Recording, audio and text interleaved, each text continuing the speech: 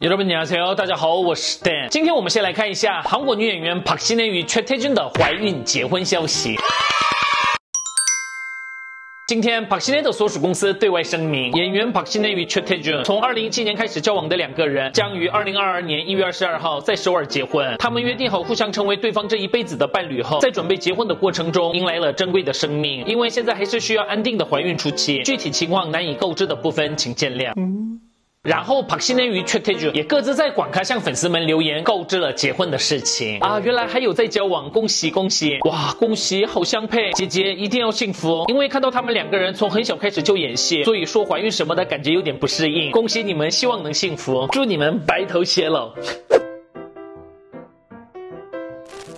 接下来我们来看一下谈恋爱七年的 Monster X 米鸟。十一月二十三号，Monster X 出演了 Kim Young-chul 主持的广播节目。当天，成员们说出了很多出道七年来的各种心得。然后在主持人说爱豆出道七年次的话，什么样的问题都应该能回答吧。后问了我收到消息说米娘正在谈恋爱，米娘马上回答是真的。被米娘的回答吓到的 Kim Young-chul 瞬间不知道要说些什么。米娘接着回答与萌贝贝恋爱七年了。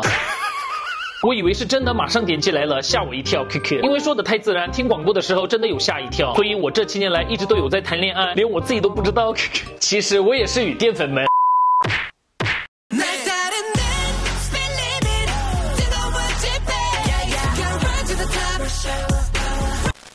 接下来我们来看一个让韩国网友们集体困惑的数学题：烤肉家主人到底损失了多少钱？一位客人在烤肉家吃了七百块钱的烤肉后，拿出了一千块的钞票付款。因为主人没有零钱可找，所以就到隔壁家换了十张一百块钱后，找了客人三百块。第二天，隔壁家发现那张一千块是假钞，就要求退款，所以主人又拿出一千块给他了。那么，烤肉家主人到底损失了多少钱呢？一一千块，二一千三百块，三一千七百块，四两千块。在这个贴文底下的六百。零三个留言，大部分的答案都集中在一二四号，所以大家觉得烤肉家主人到底损失了多少钱呢？